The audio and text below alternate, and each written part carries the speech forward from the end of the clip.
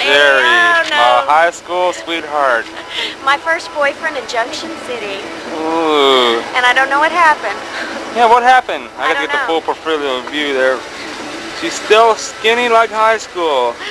How many kids? Two kids? One. One kid? Yes. Oh. Married going on 12 years. And you're still happily married, right? Yeah.